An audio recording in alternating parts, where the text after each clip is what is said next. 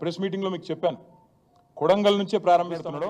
మొత్తం జరిగింది ఎంత అంటే ముఖ్యమంత్రి సొంత నియోజకవర్గం కొడంగల్లోని కోస్గి మండలంలో ఇరవై వేల రెండు వందల ముప్పై తొమ్మిది మందికి గాను ఎనిమిది వేల ఐదు వందల ఇరవై ఏడు మందికి మాత్రమే అయింది.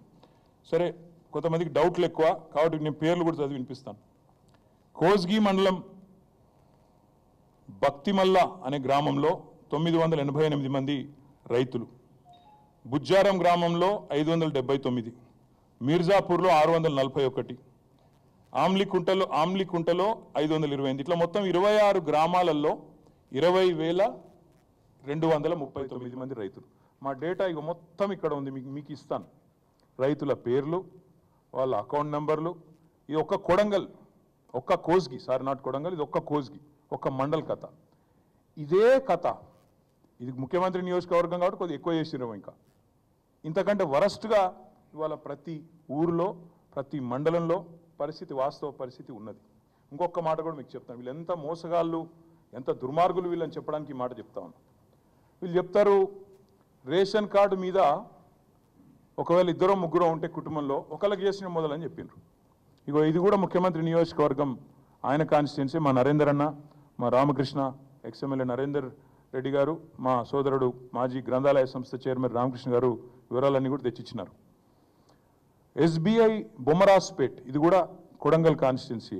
ఇక నాలుగు పేర్లు చెప్తాను. ఈ ఊరు పేరు ఎరుపు మల్ల మండలం బొమ్మరాజ్పేట్ కాన్స్టిట్యున్సీ కొడంగల్. ఇక్కడ ఒక కుటుంబం ఉందండి కోట యాదగిరి గారి కుటుంబం. ఆయన కుటుంబంలో నలుగురు కుటుంబ సభ్యులు ఉన్నారు కోట యాదగిరి గారి పేరు మీద ఒక లక్ష అరవై వేల రూపాయల రుణం ఉన్నది ఇది ఎస్బీఐ బొమ్మరాజ్పేట్. కోట శారద ఆయన సతీమణి ఆమె పేరు మీద లక్ష అరవై వేలు ఉంది వాళ్ళ కొడుకు అశోక్ పెద్ద కొడుకు. ఆయన పేరు మీద ఒక లక్ష ఎనభై నాలుగు వేల రూపాయలు ఉంది ఇంకో కొడుకు అభిలాష్ అభిలాష్ కుమార్.